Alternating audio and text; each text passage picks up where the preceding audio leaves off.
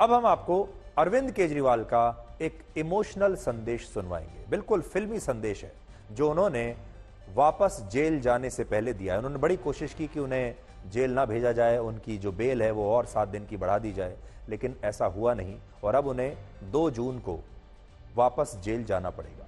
लेकिन उससे पहले अरविंद केजरीवाल ने कहा है कि देश के लोग इस बात को याद रखें कि वो तानाशाही के खिलाफ जेल जा रहे हैं, और अगर इस बार जेल में उनकी जान चली गई तो लोग इसका गम ना करें।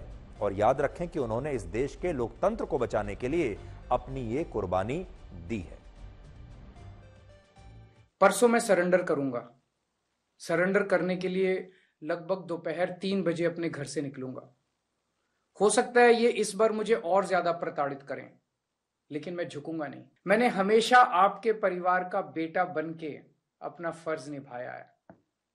आज मैं अपने परिवार के लिए आपसे कुछ मांगना चाहता हूँ। मेरे माता पिता बहुत बुज़ुर्ग हैं। मेरी माँ बहुत बीमार रहती हैं। मुझे जेल में उनकी बहुत चिंता रहती है। मेरे पीछे से मेरे माता पिता का ख्याल रखना, उनके लिए दुआ करना, देश को बचाने के लिए यदि मुझे कुछ हो जाए, यदि मेरे प्राण भी चले जाएँ तो गम मत करना। आपकी प्रार्थनाओं की वजह से ही आज मैं ज़िंदा हूँ और आगे भी आपका आशीर्वाद मेरी रक्षा करेगा।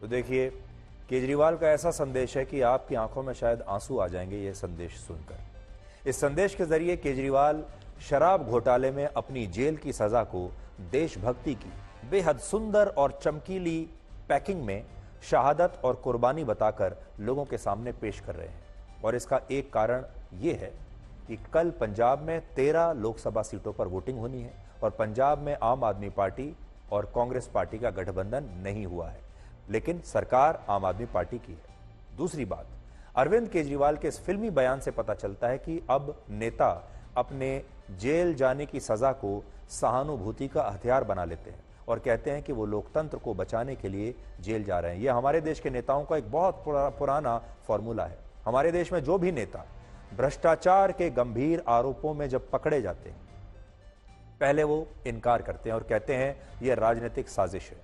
फिर उन्हें सजा होने में आठ दस वर्ष लग ही जाते हैं। जब सजा भी हो जाती है, जब अदालत भी उन्हें दोषी करार दे देती है और जेल भेज देती है, तब भी वो ये कहते हैं कि ये बड़ी साजिश है, अदालतें बिक चुकी हैं, इस देश का पूरा सिस्टम बिक चुका है। और उसके बाद वो इसी जेल की सजा को एक सहानुभूति का हथियार बनाते हैं। लोगों के बीच सहानुभूति पैदा करते हैं और फिर वापस मुख्य धारा में लौट आते हैं। हमारे देश में जितने भी नेता जेल में गए हैं भ्रष्टाचार के आरोपों में, किसी का राजनीतिक करियर कभी खत्म नहीं हुआ, बल्कि जेल जाने के बाद उनका करियर और ज़्यादा पहले के मुकाबले बेहतर हो जाता है। और हमारे देश के जो लोग हैं, वो इतने सहनशील हैं, वो भ्रष्टाचार के आरोपों को कोई आरोप मानते ही नहीं। वो भ्रष्टाचार के आरोपों को बड़ा मामूली आरोप मानते हैं और भ्रष्टाचार का वो बुरा नहीं मानते। देखिए, हमारे देश के जो लोग हैं, वोटर्स जो हैं, वो बड़े अच्छे हैं, भले हैं।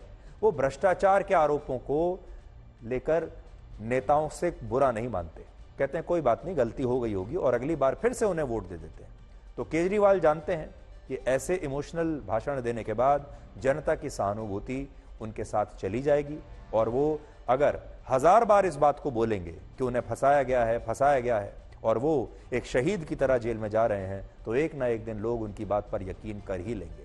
अभी हो सकता है 25 परसेंट लोग करें, बाद में 50 परसेंट कर लेंगे।